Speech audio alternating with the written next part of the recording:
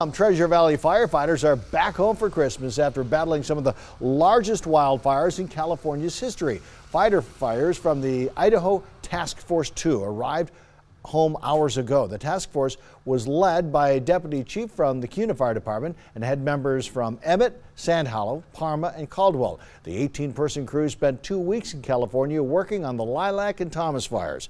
They did everything from structure protection to initial attack. They brought with them three engines and two brush trucks. Firefighters are happy to be home for Christmas. We got to help the public. Uh, we got to help CAL FIRE, got to help the state of California not only in fighting the fire but in the recovery. Just knowing that we were there was a very large impact for the California residents. Be nice if they had some of that snow in Southern California tonight. The Thomas Fire has burned over 272,000 acres. At last check, was about 65% contained.